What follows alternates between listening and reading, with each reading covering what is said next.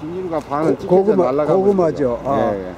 이게 뒤에는 벗겨져 있고 예. 앞에는 비닐을 씌웠어요. 근데 확연히 차이가 나네. 그럼 수분이 부족해요. 수분이 많고 음, 비를 맞을 수 있는 거죠, 저는. 아, 한번 봅시다. 여기는 위에 비닐가 씌워져 있고 여기는 벗겨져 있어서 비를 맞고요. 이렇게 차이가 나. 여기서부터 봐보시면요. 예. 여기는 이렇게 되고요. 예. 여기는 이렇게 됩니다. 음, 명확한 차이가 나죠. 음, 여기는 비닐을 어, 비를 맞고 그쪽에는 비를 안 맞고. 비를 안 맞고. 아, 분명히 이렇게 차이가 나네. 자연 재배에서만 나타나는 특성이라고 볼 수 있어요. 네. 그러면은 간행 재배, 일반적으로 비료나 퇴비를 듬뿍 준 데서는 수분이 많으면 더 잘 자라고 물이 없으면 안 자라게 돼 있어요. 네네. 반대 현상이 나요. 이 땅은 지금 비료가 안 들어간 지 전혀 얼마? 안 들어가 있어요. 예? 전혀 몇 년 동안? 이게 작년에 천여지였고 올해 작년에 아무것도 넣지 않고 그냥 처음 생땅에 했던 거고요. 이 생땅의 이전에는 뭐였어요? 이 여기에가 어, 건물이 지어졌었어요. 아, 건물이 지어졌었어요? 네. 근데 작년부터 시작했어요? 네. 근데 작년에 비료 안 들어가고, 네. 아무것도 안 들어가고 그냥 경운만 해서 심어 놓은 거죠. 아, 그랬는데 어제 올해도 마찬가지로 똑같이 안 들어가고 심었는데 비를 안 맞았기 때문에 더 잘 자라는 거예요. 아, 비를 안 맞았기 때문에 더 잘 자란다. 네. 지금 이 잡초를 한 번도, 제일 안 했고요. 좀 이제 조금 이따 이따 자, 멀칭을 할 겁니다. 예, 그리고 여기 보면 게 풀도 더 많이 나네요. 봐보시죠. 예, 예.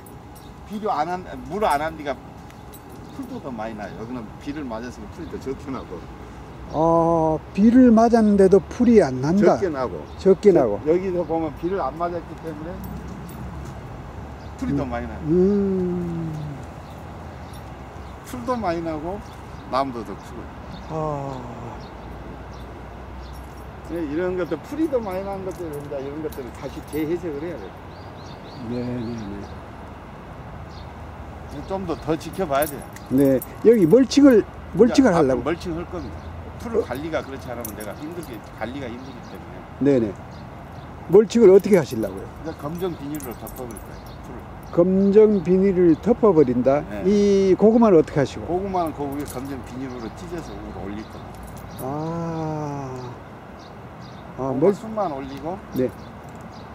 음. 아, 자연 재배도 그렇게 멀칭을 하십니까?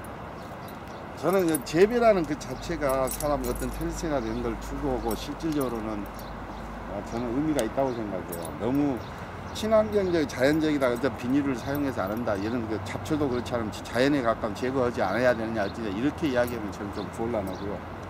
재배 행위는 자, 재배라는 말 자체가 심고 가꾸고 기르는 겁니다. 가꾼다는 그 자체가 이런 관리를 하는 것이죠. 음. 잡초는 제거해주고 음. 그리고 우리가 원하는 작물만이 잘 자랄 수 있도록 환경을 만들어주는 거죠. 네네.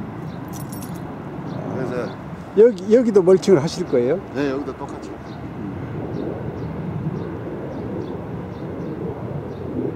이게 하우스의 저반 저 멀리는 어, 찢어져 가지고 전혀 벗겨져 있어요. 전혀 이 비닐가 없습니다.